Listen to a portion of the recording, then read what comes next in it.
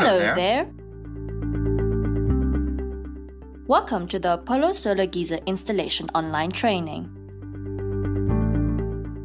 Today we'll be looking at water quality and how it affects solar geysers. Borehole water quality. It is not advisable for solar geysers to be supplied with borehole water regardless if a comprehensive filter system has been installed. A basic SANS 241 test only serves to verify if the water is drinkable or not and how it affects the human body, but it does not show the whole picture of how the water reacts to the metals in your home's plumbing network. Water analysis is usually done at room temperature, around 25 degrees Celsius, which is not indicative of the water's behavior when under high temperatures, such as in a geyser. The water's pH level, conductivity, and other compositions may change as the temperatures increase along with pressure, thus may negatively affect different types of water storage tanks. Note the scale shown above. A positive Langelier saturation index above 0.5 leads to certain minerals such as calcium carbonate precipitating out of the water when exposed to high temperatures. This will cause scales to form on the different types of water storage in the tanks, the solar geyser electrical element, and clogging up solar collectors, thus reducing their efficiency and general water quality.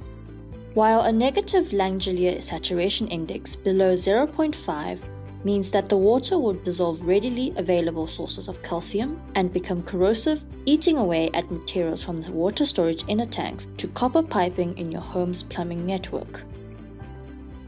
Should borehole water be the only available source of water, then it is strongly recommended that one needs to put more than two anodes or long anodes in the tank to counteract the corrosion. Cylinder failure. A geyser may fail due to a manufacturing fault, corrosion, or rust.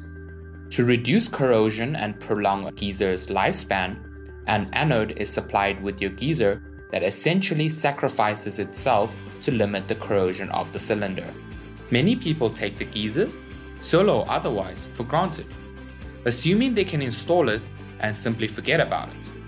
For the most part, this is true, so long as your anode rod is doing fine. What is an anode rod?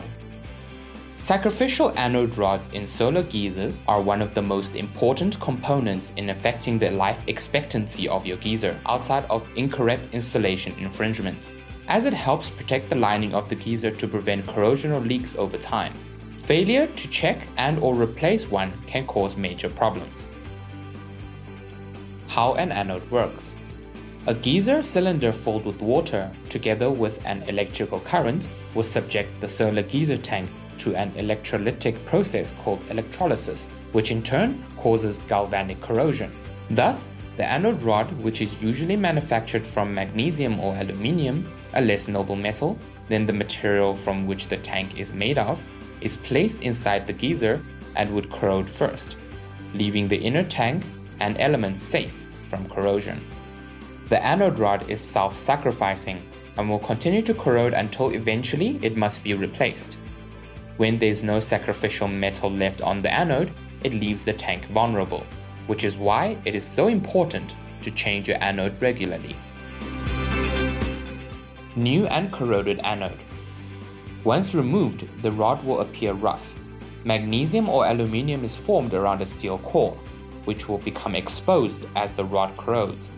If no magnesium or aluminium is present, your cylinder has started corroding. A rod showing no or very little corrosion may have become passivated and is not preventing the cylinder from corroding. Don't take a chance, replace it. Which anode should I use and how often should I replace it? Magnesium anode rods are expected to work better in a home with soft water. Aluminium anodes are appropriate for homes with hard water and a high pH level.